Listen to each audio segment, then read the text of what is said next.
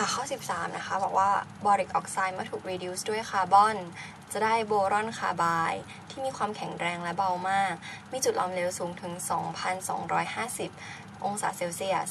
ซึ่งจึงใช้ทำเสื้อเกราะกันกระสุนในการผลิตโบรอนคาร์ไบด์ หากเริ่มด้วยบอริกออกไซด์และผงถ่านอย่างละ 420 กิโลกรัม จะได้โบรอนคาร์ไบด์หนักเท่าใด เมื่อร้อยละของปฏิกิริยาที่เกิดได้เป็น 70 นะคะ ก็ให้สมการมาด้วย แล้วก็ให้ช้อยมาสี่ช้อย คราวนี้จากโจทย์ข้อนี้เนี่ย ก่อนอื่นเดี๋ยว เราก็มาลอก มาลอกสมการนี้มาก่อนนะคะ เพื่อที่จะได้นำมาใช้ในการคำนวณได้ก็คือ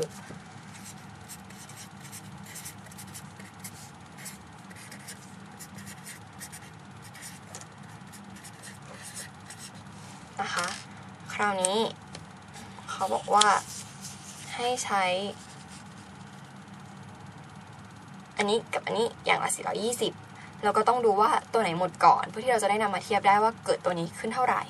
โอเคไหมคราวนี้เขาบอกว่าใช้อันนี้กับอันนี้อย่างละ 420 กิโลกรัมใช่ไหมคะ ก็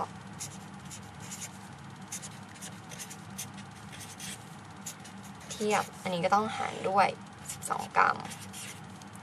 นี่ก็ต้องหารด้วย 2 คูณ มวลโมเลกุลก็คือ 70อะคราวนี้การคิดมวลโมเลกุลคิดยังไง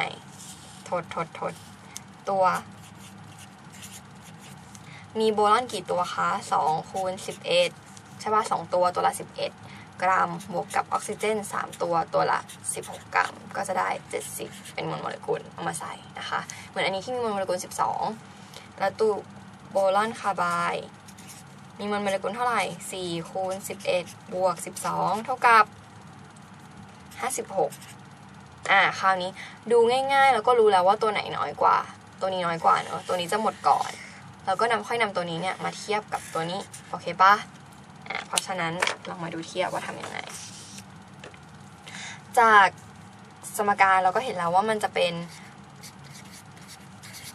ใช้โบรอนคาร์บาย2โมล เอ้ยใช้โบริกออกไซด์2โมล จะได้โบรอนคาร์บาย1โมลใช่ปะคะ เพราะฉะนั้น เราก็ดูอันนี้มันก็คือ 2 คูณกับมวลโมเลกุล7ขอโทษค่ะ แล้วก็ลอกตัวนี้มาว่ามันคือ 420 กิโลกรัม ในประกาศ2คูณ70 กรัม เพราะฉะนั้นอันนี้ถ้า 420 กิโลกรัม ถ้าเราใช้ 420 กิโลกรัม เราจะได้อันนี้ เท่าไหร่ไม่รู้เป็น x กิโลกรัม ส่วนด้วย อันนี้คือน้ำหนักของมันต่อ2 2โมลใช่ป่ะก็คือเอา2คูณด้วยมวลโมเลกุล อันนี้ก็คือเอา1คูณด้วยมวลโมเลกุลของมันก็คือ56ที่เราคิดเอาไว้แล้ว กรัมเห็นป่ะหน่วยก็ตัดกัน แล้วก็จะรู้ว่า x เนี่ยมันเท่ากับคิดเลขได้168กิโลกรัมใช่ปะคะตัดเลขเนาะเอา3คูณ ใช่ไหมคราวนี้เขาบอกว่าเกิดปฏิกิริยาได้7ร้อยละ70ใช่ไหมคะ ดูนี่ลดเมื่อร้อยละของปฏิกิริยาที่เกิดได้เป็น 70 ก็คือความจริงตามทฤษฎีเนี่ยมันควรจะได้ 168 กิโลกรัม แต่ว่าพอทางปฏิบัติเนี่ยมันได้แค่ 70%เท่านั้นก็คือ 70 ของ 168 โอเค ก็คิดเลข 78 50 78 56 ใส่6ทด5 7 6 42ทด5เป็น 47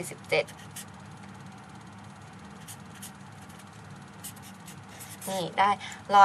117.6 กิโลกรัม ดูช้อยก็ใกล้เคียงกับข้อ 2 มากที่สุด ตอบ โอเคนะคะ เพราะฉะนั้นจากข้อ 13 นี้ก่อนอื่นเนี่ย เราก็ดูสมการ เราก็ต้องหาก่อนว่า 2 ตัวนี้เขาให้มาเท่ากันก็จริง ต้องดูว่าตัวไหนน้อยกว่า มันจะหมดก่อน ตัวที่หมดก่อนเนี่ย ก็ค่อยไปเทียบกับว่าเกิดขึ้นเท่าไหร่ ซึ่งเวลาเทียบเราก็เทียบ ให้มากี่ให้มากี่กิโลกรัม จะเกิดกี่กิโลกรัม ถ้าเกิดว่า